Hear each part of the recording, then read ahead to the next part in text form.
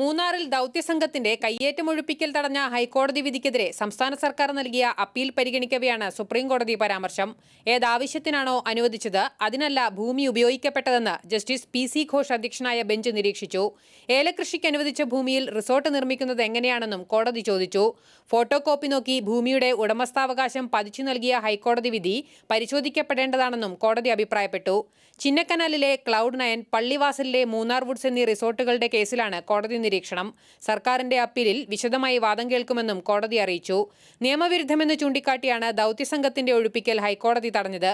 ഏറ്റെടുത്ത ഭൂമി തിരിച്ചു നൽകാനും മൂന്നാർ വുഡ്സ് ക്ലൗഡ് നയൻ അബാധ നീ റിസോർട്ടുകൾക്ക് നഷ്ടപരിഹാരം നൽകാനും ഹൈക്കോടതി നിർദ്ദേശിച്ചിരുന്നു. പി എസ് വിനയ മാതൃഭൂമി ന്യൂസ് ഡൽഹി.